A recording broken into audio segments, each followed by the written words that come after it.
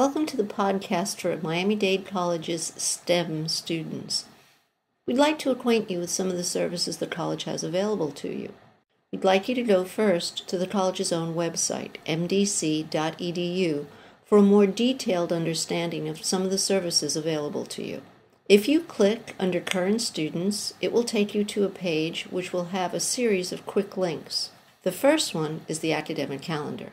The academic calendar lists for you not only the sessions in that particular academic year, but also it will tell you when registration begins, when late registration begins, when classes begin, the last day to drop, register or change your schedule, when you can register for the CLAST test, when the 12 week mini term begins, and the last day to withdraw. If you go back to the previous page, you will find another quick link to the final exam schedule.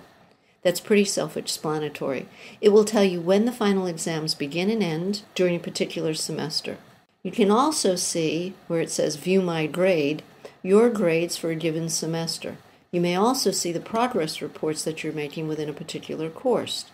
The next quick link that we have is the registration drop add link. When you go in there using your student Miami Dade account, you can find out exactly how you should proceed to register online. You also have quick links for degree audit, which tells you about the classes that you have taken, lists the grades you've received in those classes. The next quick link, View My EP, tells you a little bit about your own individualized educational program.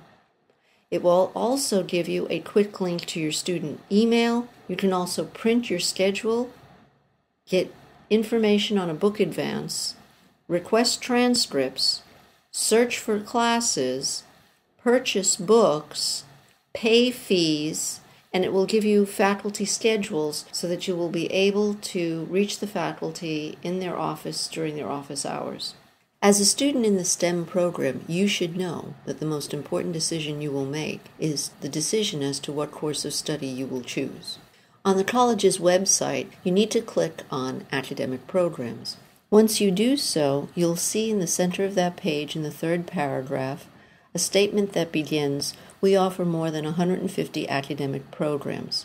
Click on the hypertext, and on that page it will list for you all of the award types meaning all of the degrees that the college has for you the Associate in Arts degree, the Associate in Science programs, the Associate of Science in Allied Health Technologies, the Associate of Applied Science, and it continues on until it speaks about the Bachelor of Science program, the Bachelor of Applied Science, and the Bachelor of Science in Nursing. Now, in order to determine what classes you will take for each of those programs, you need to click where it says Programs Available.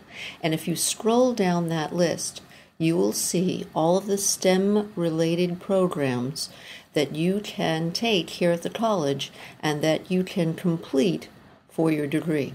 Now, when you click on Programs Available, you can then print the program sheet for your program.